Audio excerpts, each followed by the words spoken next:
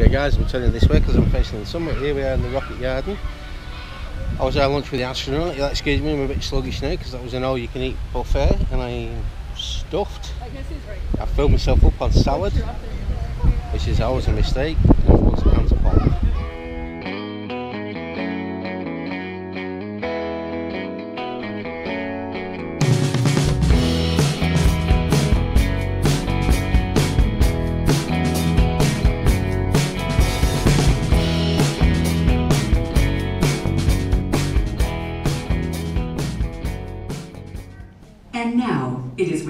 pride that we present the story of NASA's Apollo program, the greatest adventure mankind has ever undertaken.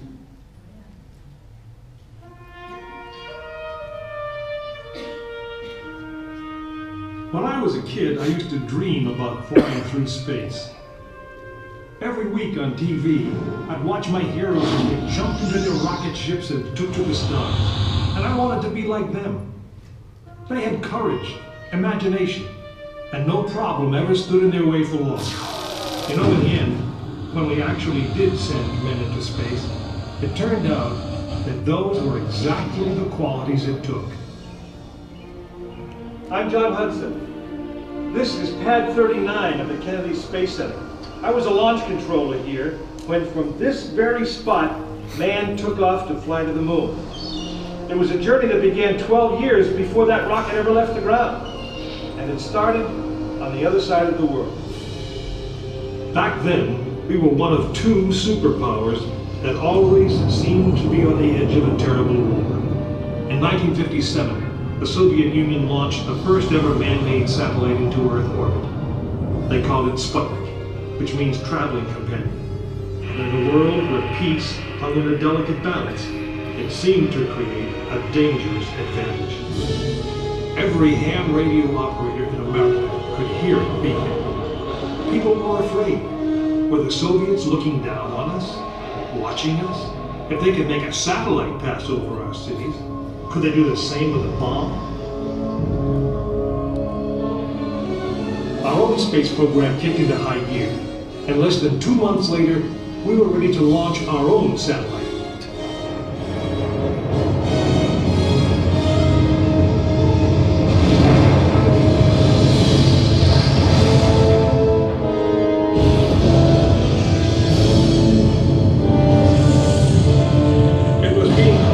Space race, and we were running a distant second.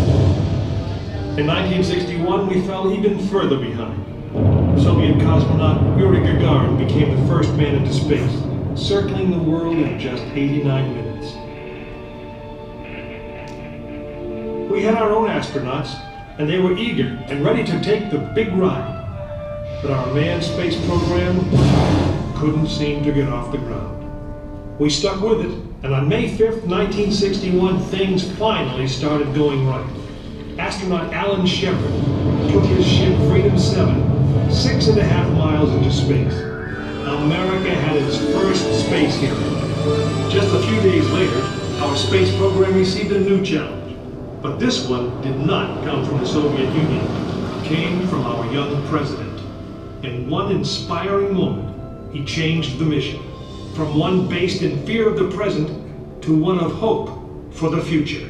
But why, some say, the moon? Why choose this as our goal? And they may well ask, why climb the highest mountain? Why, 35 years ago, fly the Atlantic? Why does Rice play Texas? We choose to go to the moon. We choose to go to the moon.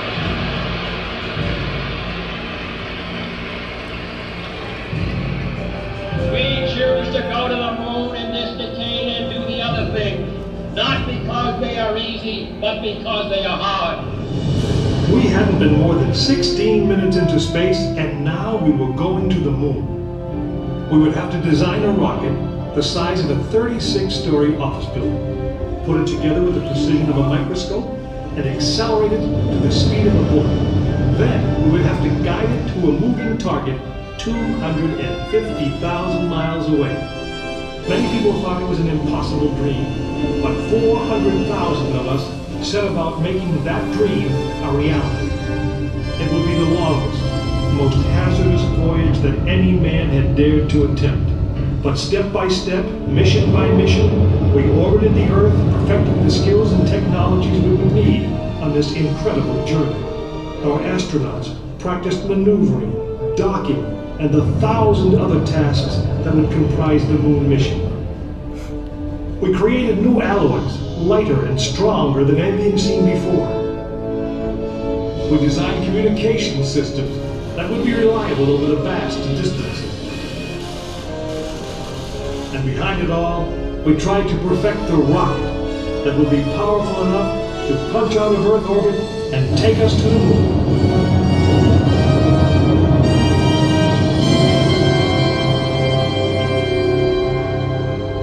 One day, however, the dream of flying to the moon almost slipped away. It was January 27, 1967. Astronauts Virgil Gus Grissom, Edward White, and Roger Chaffee were on board Apollo 1 for a plugs-out test, a full-scale dress rehearsal for the actual launch. Suddenly it happened. There was a fire in the capsule. Three men whose lives had been in our hands were lost.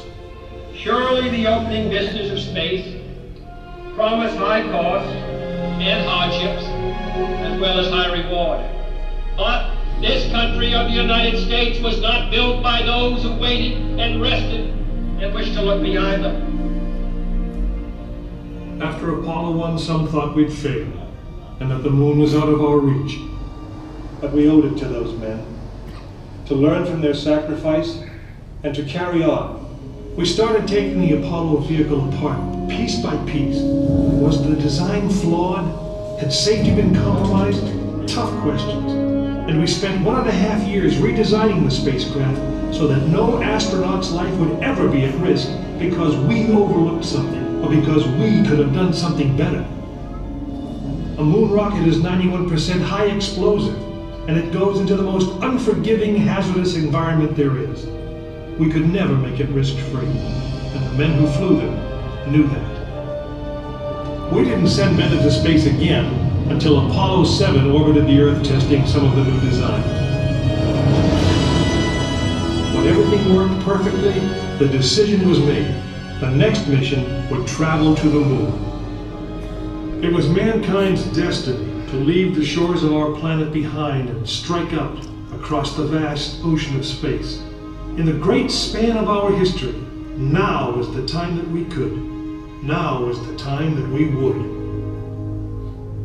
We stood on the eve of the longest, most dangerous journey that any man had ever undertaken. And it would be taken by Frank Borman, James Lovell, and William Anders, the crew of Apollo 8. Through those doors, you'll find the firing room, launch control, just as it was on December 21st, 1968.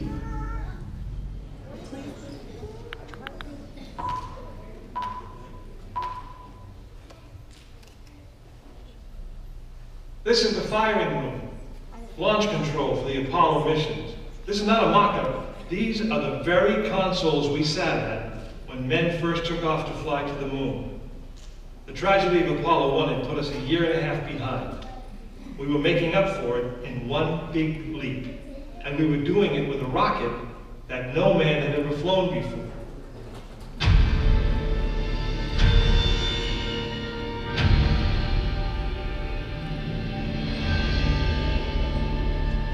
It was a few days before Christmas 1968 when Apollo 8 sat on the pad.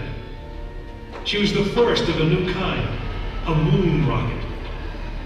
This was the Phoenix, risen from the ashes of Apollo 1. The first Apollo crew did not die in vain. This was to be their testament.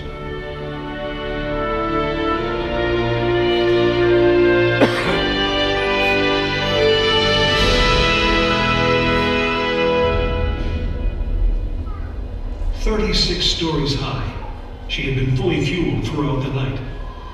The liquid oxygen in her tanks caused ice to form on the outside of the craft. The extreme temperature differences between the air and the sub-zero fuel caused the metal skin of the rocket to expand and contract. Everyone was on the pad agreed. It was as though the rocket was alive, breathing, straining at the leash.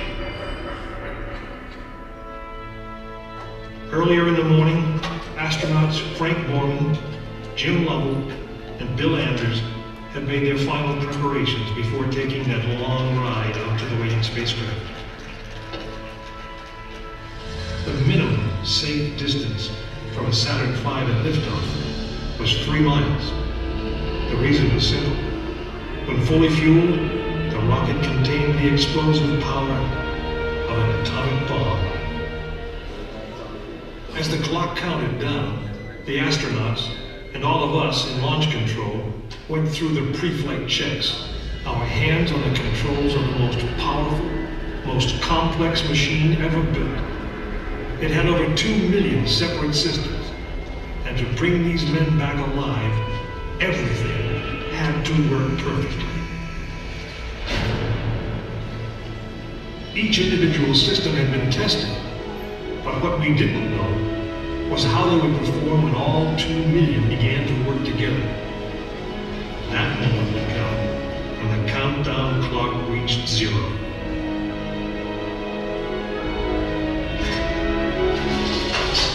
If a maneuvering thruster failed, if communications broke down, if navigation was off by one degree, if any piece of the miles of wiring, circuits, relays, or valves was defective, Frank Borman, Jim Lovell, Bill Anders would pay with their lives.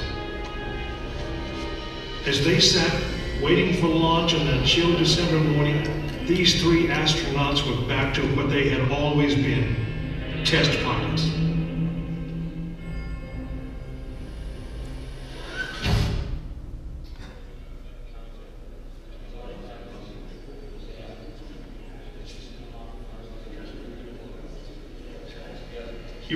In the final minutes before the launch of Apollo 8, right here where it actually happened.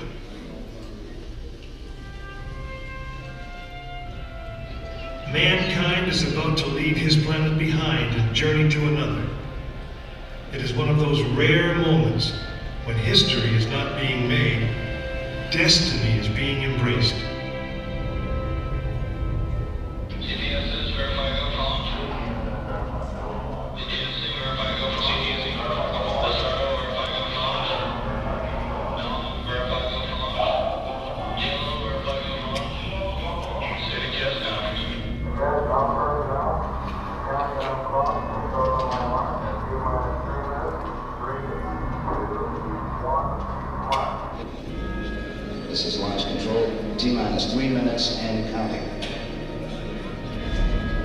Completed our communications checks with the Apollo 8 astronauts in the cabin, and the communications are go.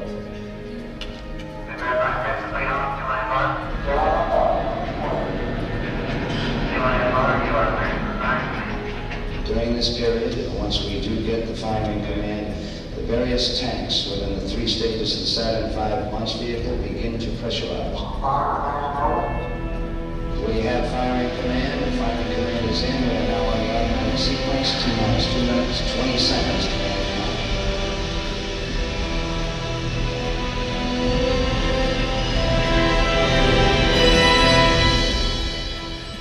Our status board indicates that all aspects are ready. Instrument unit is ready, spacecraft ready. Final check of the emergency detection system. That ready light also on. First stage preparations are completed. All systems remain okay. Okay, keep going. We're on. Ready to go to cockpit. Stand by, water. Okay, you're on. All systems go. T minus 45 45 seconds and counting. The first stage liquid oxygen tank has been pressurized and the pressure is still building up.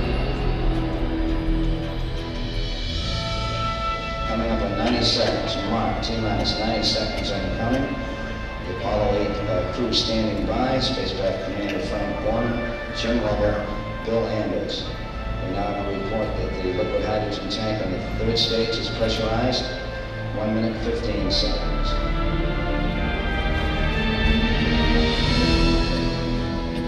All third landing stage. Propellants pressurized at this time as we come up on the 60 second mark on the flight to the moon. 60 seconds and counting. The vehicle now is completely pressurized. We're coming up on power transfer shortly.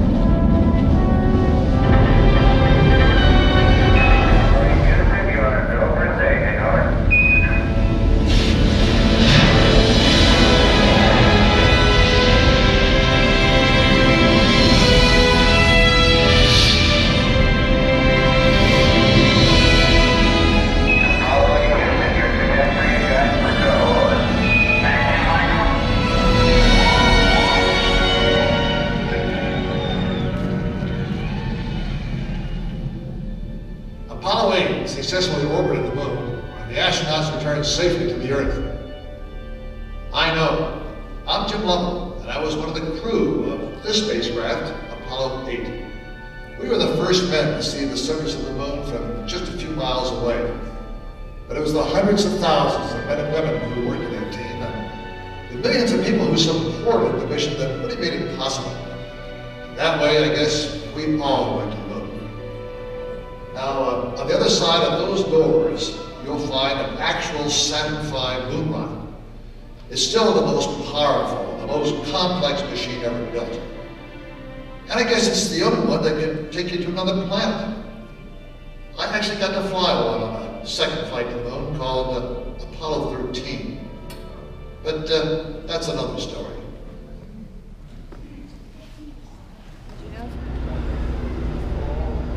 Wow.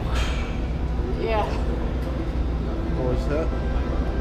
it's it's the kind of achievement that it sort of transcends nationality. I mean, I'm aware that this is an American craft, and I'm aware that it's a it's an American that stood on the moon first. But this is the achievement. That was an achievement for like One, one small step for man. one giant leap for mankind. Just Yeah, this won't come out very well on the camera, but on, this is huge. You watch Michelle go. She's actually jogging over to it. You get a little bit of perspective there. Uh, that's a guess. I would say them exhausts on that, them rocket motors are about 12 feet in diameter each. So you've got 24, 36, probably 40 foot of diameter. 40, 50 foot of diameter. It's huge.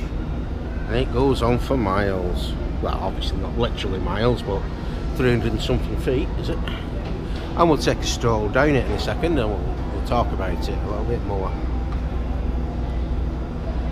Yeah. The reason we've come to NASA is because, kind of for me, yeah, because I'm really geeky and into all this sort of stuff. And I watched all the films. I watched, we watched Apollo 13 before we came over. Uh, we're now going to have to go and watch an Apollo 11 one out next year. You not? I kind of know where it ends. Yeah. Well, we do. It's history. we'll go back and watch the right stuff. I watched that, haven't I? Yeah. I thought I'd seen Yeah. Okay, we'll go take a little bit further down. Here we go.